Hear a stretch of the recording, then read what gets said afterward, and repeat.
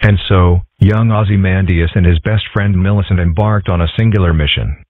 To discover if, in fact, any secluded corners of society remained untouched by crass commercialism. Their shadows long in the afternoon sun, the two children boldly set forth to find out if a bit of the old America remains. This makes it sound like we're doing something besides checking around the block.